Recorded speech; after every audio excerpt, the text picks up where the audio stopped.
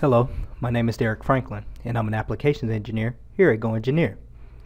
There are times inside of a simulation study where we may only want to apply a fixture or an external force on a face, but maybe only on a section of a face instead of the entire face.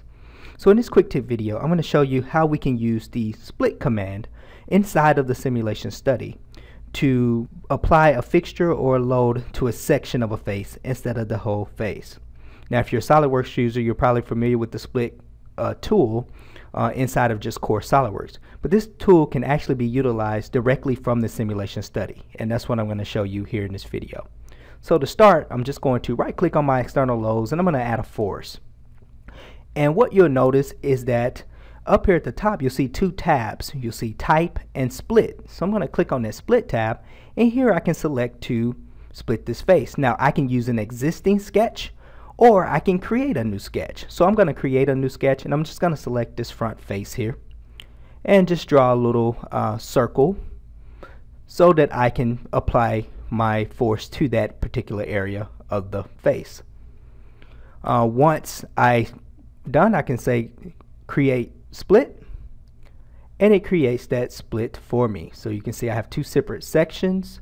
Um, now I can click back on the type tab and apply the magnitude of the force that I would like.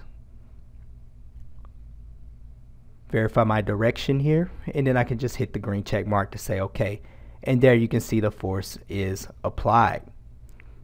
Now again this can be done for external loads or for fixtures. So if I right click just for example on a fixture here um, you can see the split tab is available there and I could do the same thing if wanted.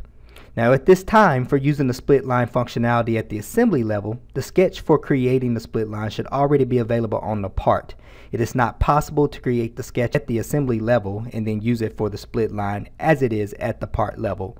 If you're in the assembly level, you will see that create sketch button grayed out. So just a little FYI there for you.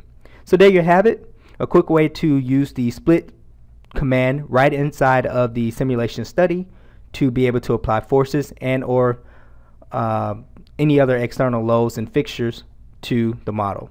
Thank you. Have a great day.